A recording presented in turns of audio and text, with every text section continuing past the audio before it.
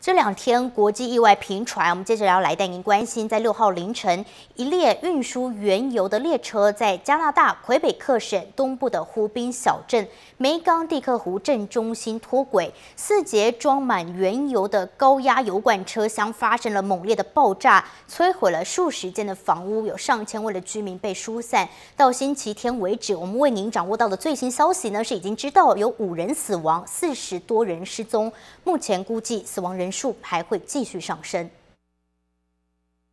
出事列车属于蒙特楼缅因州暨大西洋铁路公司，列车一共有七十三节车厢，其中油罐车厢装载数千加仑原油。五号深夜停在梅冈蒂克湖镇西边十二公里外的纳提斯镇上。出事时，列车司机已经轮值下班，同时在梅冈蒂克湖镇上的一家旅馆内休息。因此，列车司机先锁定刹车后离开，但是列车的空气制动器不知道是否在此时失灵。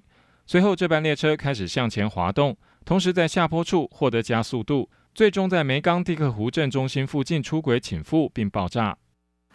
七月七日，加拿大总理哈伯亲自赶往现场视察。You know, it looks like a war zone here.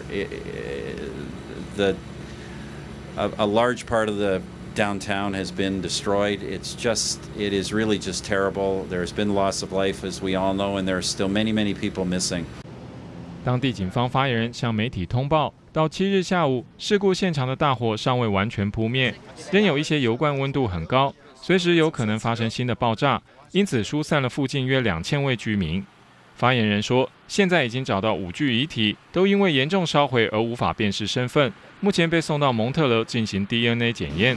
目前仍有约四十人失踪，因为现场仍有可能产生新的爆炸，而未能开展搜救。目前警方正在讯问这名列车司机，但警方表示，要推测事故起因和经过还为时过早。加拿大联邦运输安全委员会将负责本次事故技术层面的调查，包括检查刹车、轨道以及列车机械方面的状况。新唐人记者白兰叶文综合报道。